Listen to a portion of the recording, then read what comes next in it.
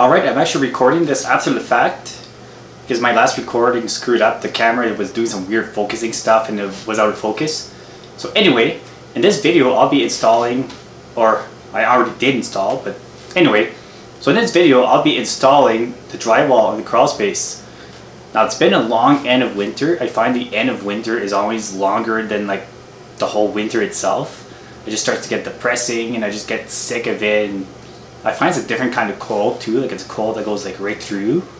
And then everything is like really slushy and icy and messy because the snow kind of melts and then it freezes. So you can't even go for walks without like slipping everywhere or stepping in dog crap. So I was starting to feel a bit down, so just losing motivation to do stuff and all that. And I think I get a little bit of seasonal affective disorder sometimes there. But anyway, so it's taken a while before I got to this point, but it's finally nice out and my motivation is back up.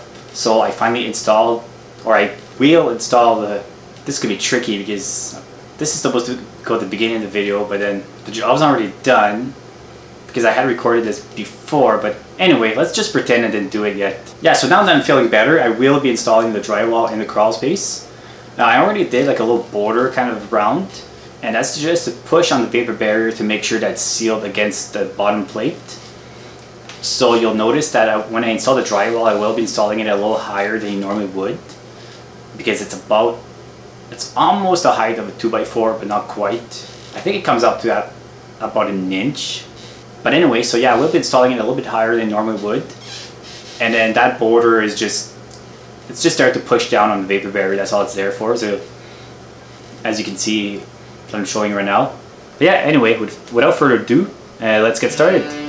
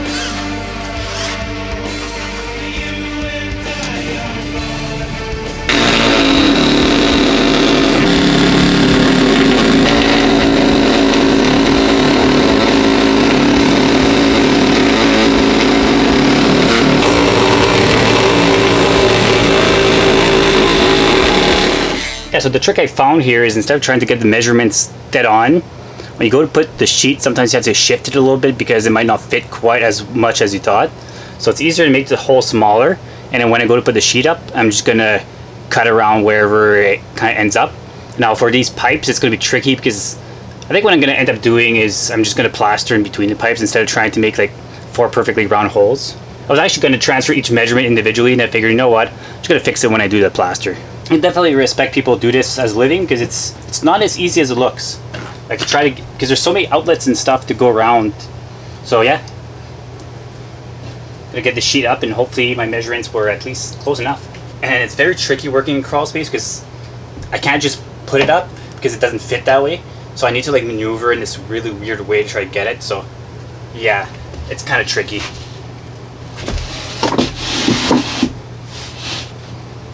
I don't even know how I did this last time. It's like really tricky working on in here.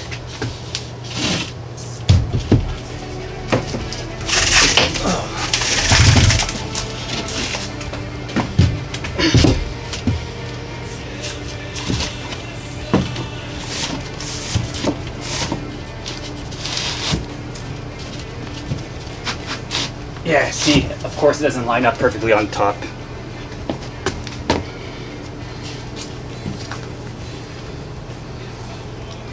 Oh, and I got this way off. Ah, well that sucks. I think I'm just gonna make another hole. I'm just gonna patch that at some point. I don't want to waste a whole sheet of drywall.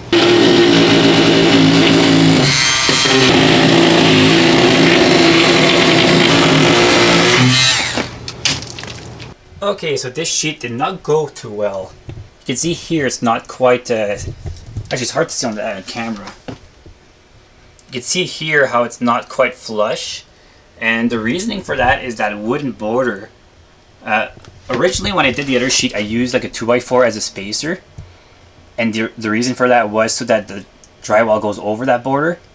And then I realized that it doesn't really need to go over the border. I can just make it go lower.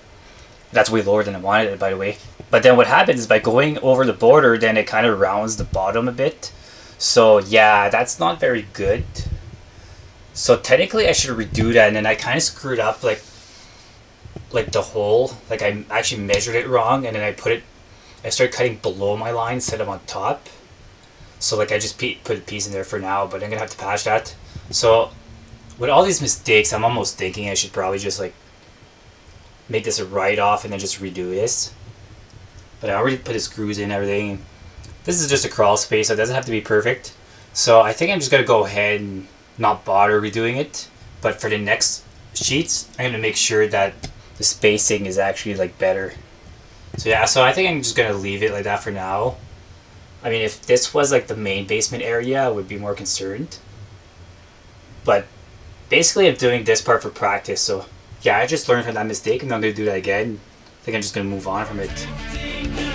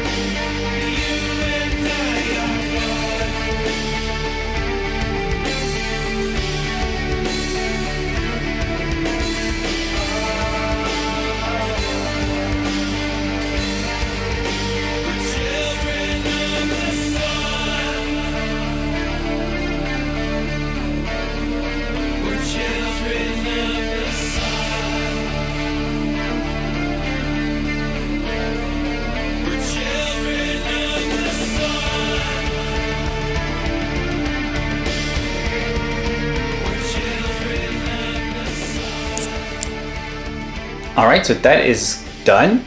Uh, that did not go as well as I had hoped. Uh, I'm not quitting my day job, that's for sure. Uh, drywall is much harder than I figured. Uh, just trying to get stuff to line up properly and all that. And halfway through, I realized that my floor is so crooked. So, and I was going by the floor to make sure that it was square with the studs, which didn't work out very well. So there's a couple sections where I actually had to cut like the edge like in a slight angle just to get it to fit and then I realized that I, I could have just shimmed it up a little bit on both sides to kind of make it so that it meets up at the stud. But anyway, so yeah, it's done. And I have to fix the power outlets because they're not quite flush with the drywall. So I bought these shims. I actually did it already. I bought some shims and I put them in where the screws are so the outlet kind of sticks out a little bit more. So when I go to put the plate on, it's going to be nice and flush with the drywall. And then the next step is to plaster. Now I was kind of debating on whether I was going to bother because it's just a crawl space, but the job is so botched that I kind of want to fix it. So I'm just going to plaster the whole thing, make it nice and smooth, and put a primer on it and just leave it at that probably. So yeah, so that is it for this video. I hope you enjoy that. And please like, subscribe, and give it a thumbs up and all that good stuff. It really helps the channel. And I'm hoping to have more projects coming soon where I can make more videos. Now the big thing is once I build my shop, I'll be able to do a lot of smaller projects, do like electronic stuff and all that and make videos on that. So right now I don't really have a proper area to work on stuff like that. So I've just been making videos on, on actual house projects, which are more tricky to make because you're working like all over, like you need to move the camera a lot. So once I have a shop and I can make smaller projects, I think it'll be better and I'll be able to provide more content. So anyway, have a good one and thanks for watching. Bye.